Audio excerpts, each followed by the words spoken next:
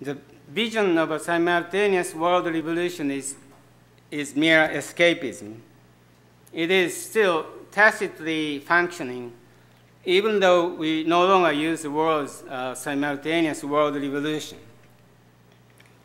Hardt and Negri's global revolt of the multitude is an example.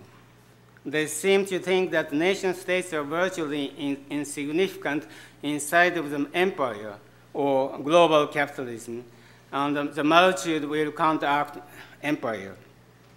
By multitude, they mean uh, various human groups such as minorities, immigrants, aborigines. Um, the multitude is not confined to the uh, working class. But Hardt and Negri's vision is similar to that of Marx and Proudhon around 1848. In fact, Hardt and Negri themselves note that what Marx called the proletariat should not be confined to the working class in the narrow sense, but should be taken to be very close to what they call the multitude. In that sense, Hardt and Negri are advocating a simultaneous world revolution by the multitude, if not by the proletariat. Such revolts might break out here and there, and they would soon be divided by the state.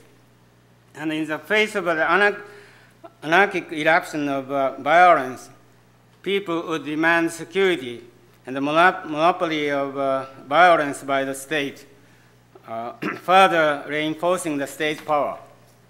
Accordingly, this would result in fortifying the capital nation state. This applies to the simultaneous world revolution of the past. For instance, uh, far from overthrowing the state, state and capitalism, the revolution of 1848 resulted in establishing an advanced version of capital nation state.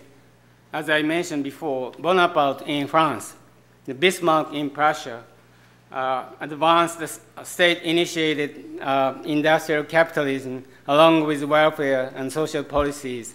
And these led, led to imperialism before long.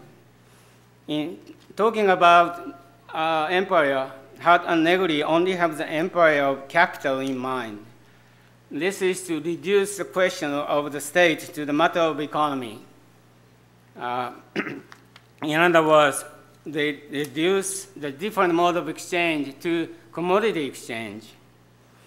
But their vision can never take place in reality. No matter how much the capitalist economy may deepen, the state will remain, and so will the nation.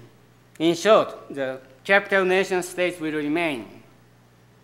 Without understanding these difficulties, the revolt of the multitude will lead only to a consolidation of the state rather than its abolition. Uh, we are confined in the Borromean ring of a capital nation state, uh, social democracy, which in some to regulate capitalism and redistribute wealth by of by way, way of parliamentary democracy is not free from this. More often than not, it falls into chauvinistic nationalism. In order to get out, get out of this closure, counter movements against the state and capitalism in each nation uh, uh, uh, necessary.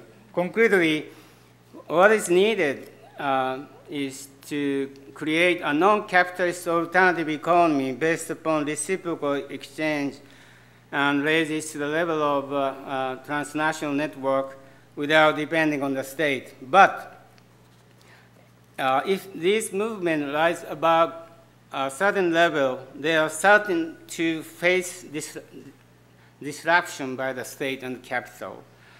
The, the transnational networks would be blocked and divided. Therefore, side by side with such counter movement against states from inside or below, counter movement from outside or above are necessary at the same time. Uh, to uh, repeat once again, the state cannot be overcome only from within or from below. Below, for the state exists against other states, enemies it is just as impossible to abolish one state alone. We cannot count on a simultaneous world revolution or anything like, like that either. What else is possible then?